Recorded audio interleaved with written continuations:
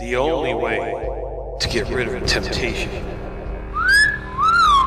is to yield to it.